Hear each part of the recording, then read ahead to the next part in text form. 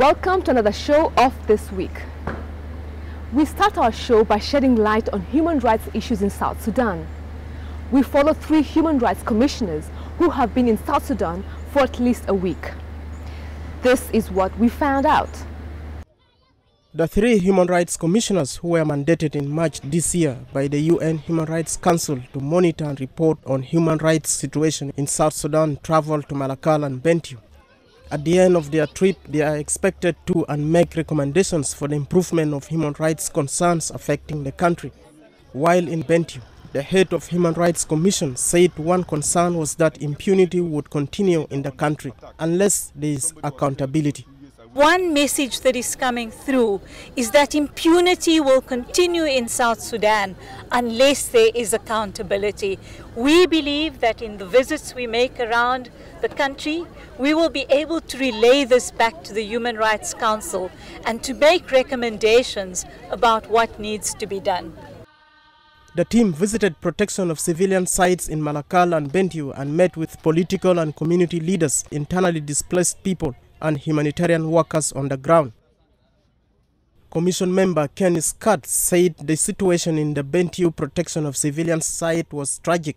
No matter how much you know about the suffering that's been that, that's happened here in South Sudan, how tragic it is, it becomes new to you again when you see people, when you talk to people, and you hear their stories. And I think all of us come away feeling more determined to really address this situation, to make sure that accountability happens. Godfrey Musila said the commission would advocate for various issues. We would be advocating for accountability for what has happened in South Sudan. We'll also be advocating not only for prosecutions uh, under the hybrid court and other mechanisms, but also the need uh, for ordinary South Sudanese to talk, to sit down and talk um, under a Truth and Reconciliation Commission, but also for the needs of victims who have suffered, who have lost property, who have lost livelihoods to be taken into consideration under the uh, reparations authority that is proposed under the peace agreement.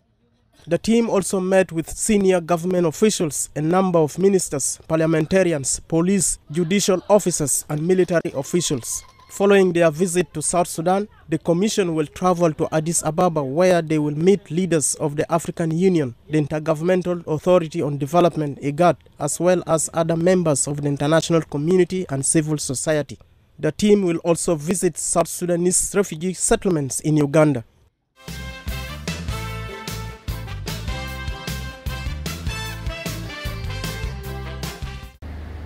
Before leaving the country, the Human Rights Commissioners held a press conference in the capital Juba where they highlighted their concerns.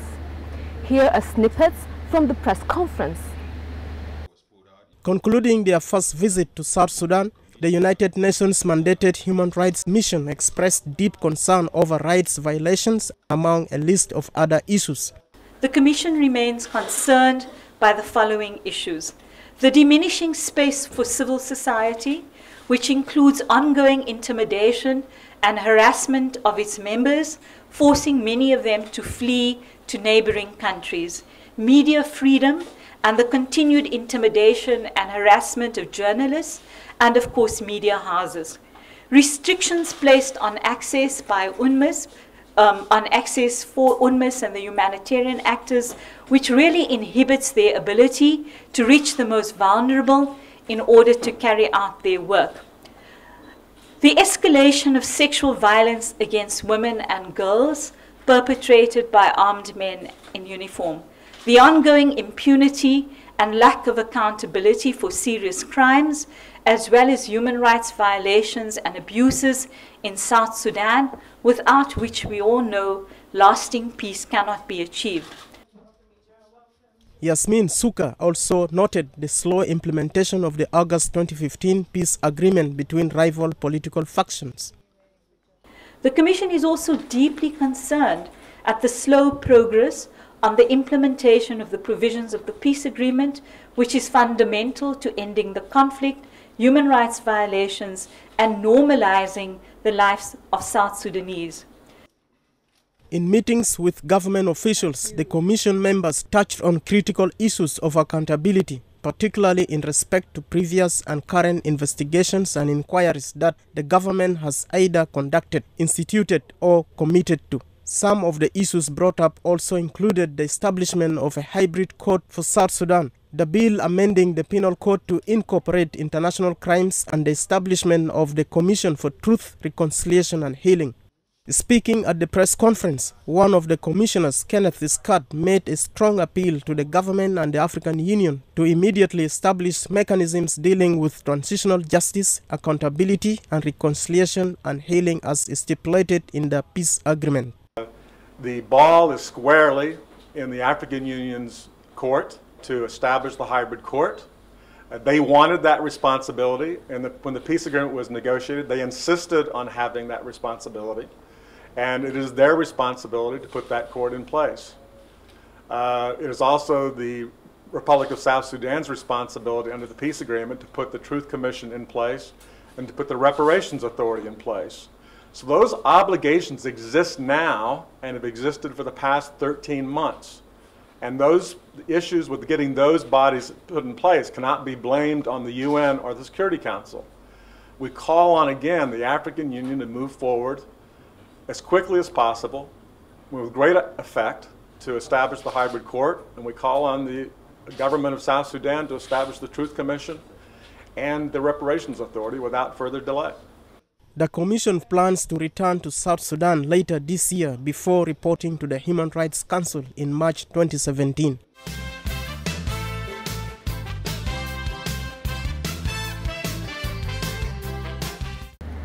At a press conference in Geneva this week, the United Nations Refugee Agency, UNHCR, said the number of South Sudanese refugees in neighboring countries has reached the 1 million mark.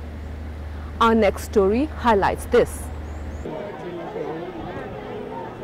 This number includes more than 185,000 people who fled South Sudan since fresh violence erupted in July this year. Speaking to reporters in Geneva, the UNHCR spokesperson Leo Dobbs said that this is a sad milestone five years after independence. The number of South uh, Sudanese refugees sheltering in neighbouring countries has passed uh, the 1 million mark, including more than 185,000 people who have fled since fresh violence erupted in South Sudan uh, in Juba on July the 8th. Um, five years after independence. This is a very sad milestone, and we uh, again call on all the actors involved to step up efforts for a uh, to forge a durable uh, peace peace pact, so that people can start rebuilding their lives and returning home. Dobbs said that South Sudan also joined Syria, Afghanistan, and Somalia as countries which have produced more than a million refugees.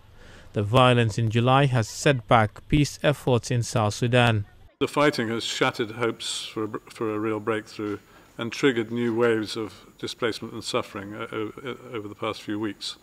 And uh, organizations such as ourselves are finding it very difficult uh, for logistical security and funding reasons to provide the protection and assistance that, uh, that is needed uh, uh, by the refugees and the 1.61 million internally displaced.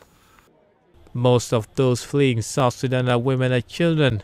They include survivors of violent attacks, sexual assault, children who have been separated from their parents or traveled alone, the disabled, the elderly, and people in urgent need of medical care. Dobbs highlighted neighboring Uganda's role. Uganda is hosting the lion's share of uh, Sudanese refugees with 373,626, more than a third of whom have arrived since uh, the fighting erupted in July. And they keep coming. Uh, more than 20,000 new arrivals were recorded uh, over the past week, mainly crossing from uh, the north, uh, at the northwest point of Oraba. Um, and they have been uh, confirming reports of increased fighting across the greater Equatoria belt in the south of, uh, of the country. As the refugee agency continues their work, they are calling on donors to provide 701 million US dollars for South Sudan refugee operations. of which 20% has been funded. They announced that without further funding and support, UNHCR and its partners will struggle to assist the refugees even with the most basic assistance.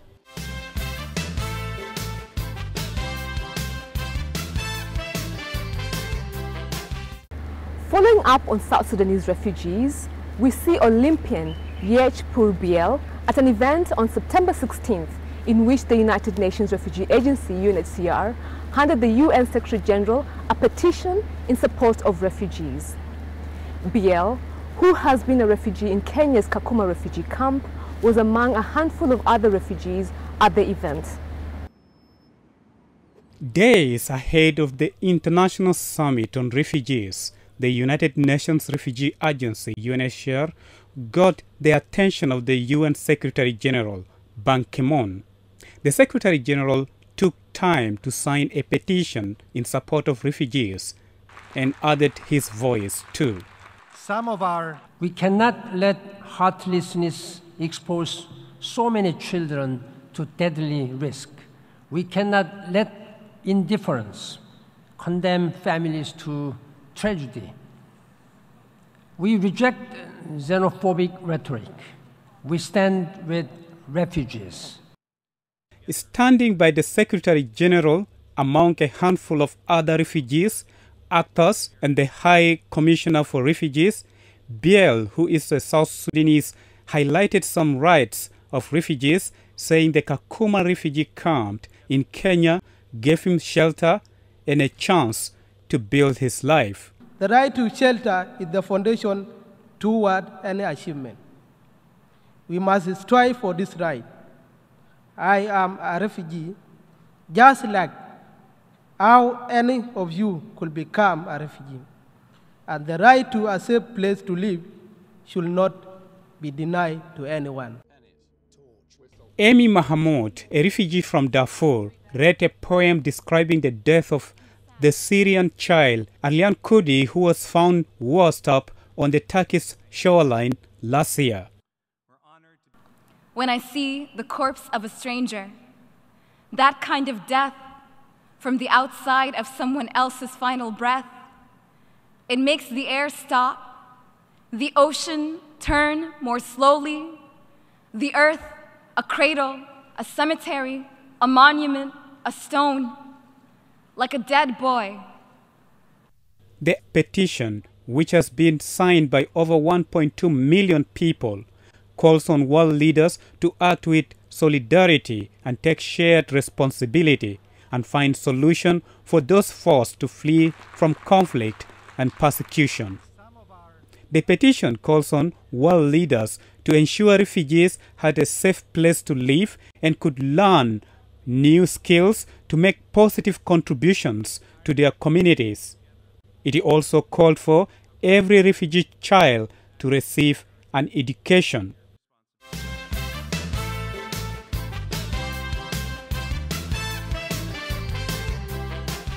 Our next item is a recent discussion on Radio Miraya by South Sudanese youth who are using street art to promote peace. They are campaigning under the hashtag Anataban, which is basically translated from Arabic as I am tired. Here is what they had to say.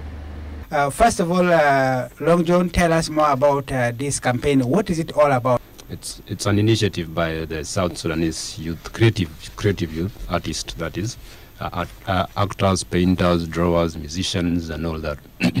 Sorry, it is a campaign that they come up they came up with to try and be able to explain to the people of South Sudan, the youth particularly, that uh, it is us that really need to have this country moving forward. It's a campaign to push for peace amongst ourselves and among our and, and in our country. We heard it in house that okay, it is our obligation to stop this war. We have been into decades of uh, war. Every time we subjected to this war, it is us youth to stand up and work for the peace that uh, we need to achieve in this country. If we want our children to be in the peace that we need, mm. and uh, at least enjoy the fruit of this nation. What is the aim of this Anataban campaign? Any of you can respond. The aim is we need to speak up I mean, for the voiceless, the suffering, and uh, you know, the widows, the the children that uh, I mean, were subjected to all this suffering. We need to speak up for them and say enough is enough. Our aim is, you know, to stop this uh, hunger, you know, that is in us, you know, and every kind of suffering that is outside there. There's so many things that uh, you know we need to tackle. Who are the targets in this campaign? Maybe. Uh, well, the targets are um, the youth, mainly the youth. That uh, because what we realize, the youth are the majority that you know are facing the problem. They are the one either taking the arms and you know join the sides. You know, they uh, they are the one fighting the war that they don't even know why they're fighting. You know, you instead of enjoying going to school, uh, thinking of what tomorrow is like for them, they are the one mainly in all these things. We're also targeting the women that you know they are the victims of. Uh, could be rape, could be, you know, starvation, could be, you know, they've lost, they're losing a husband that you know mm-hmm. should be working for them, but you know we all are targeting the children that are waiting for their fathers to come back home and some will never see their fathers again. We are targeting everybody else. To be honest like uh, whatever part of the world we are as south sudanese we all turning and tossing without sleep. What will you tell to a youth listening to you right now and is deep down there in the villages of South Sudan. He has no access to food, no access to uh, medicine. He can't go to school. His life is almost gone. The roads are blocked. And he's listening to you here saying you are launching a campaign tomorrow for peace in South Sudan, and yet he's now hiding for his dear life. What do you tell them using this campaign? You need to come up as a youth, a strong youth, and speak up for your country. You know, and by the end of the day, you'll get to where you hope to be and never lose hope because hope is the first thing in life. If you have that, then any time, any minute, any second, things can change and you, you know, you become uh, who you want to be. So we need to speak up. We don't need to be like uh, uh, voiceless, you know, sit down. You know, we are the we are the majority in this country as youth, and we're the one who are being used. So why can we say no? We don't want to use this mm. and we need to listen to ourselves and do our own things as youth. We are the most powerful people in the nation. So in one voice uh, i would like you to maybe pass your final message of hope. For the youth of south sudan this is your country and uh, there is even if you have a you know like uh, different nationalities this is your country you have to own it. And taking ownership of what belongs to you it starts with respecting you as yourself and respecting you know the rest of the world and you know the country as well. So i just want the south sudanese youth to take on ownership of the country. So i'm just requesting our fellow youth and the fellow south sudanese that mm. together let's make history. You know history is made when the unexpected happens. Let's show exactly. the world that you're not a country of war. Okay. Mm. uh, jacob finally. To keep our hopes alive uh, we still have our country and we can you know still achieve what we need to achieve so let's be together and you know uh, appreciate our diversity.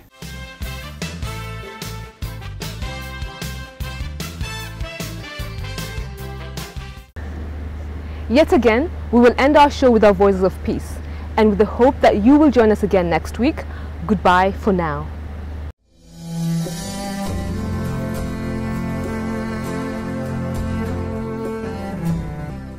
It is a pity uh, it is a pity that uh, we are losing humanity. Uh, this question is very touching. Uh, we are losing, uh, we are losing our humanity, and uh, that that heart of humanity is not there. Sometimes you find that children are killed, women are killed.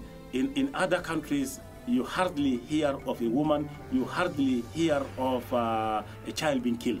This one is happening in South Sudan. My heart bleeds when I see our citizens even are afraid of the custodians of the law, uh, the organized forces. The organized forces, uh, people should see them as friends. Uh, people should see them as people who really guarantee their freedoms. We South Sudanese, we should uh, embrace ourselves. We should love ourselves. We should accommodate ourselves. We have the Nile, the great Nile. We are on the Nile. Sudan is using the Nile, and uh, Sudan has the biggest sugar uh, factory or company in, in, in, Africa. Egypt is using the Nile, but we, probably who are the owners of the Nile, we are seeing the Nile uh, just passing, and we are, we, are, we are throwing even dirt into, into, this, into this Nile. Time has come for us to protect the Nile and to protect our environment and to intensify agriculture because it is the backbone of our economy.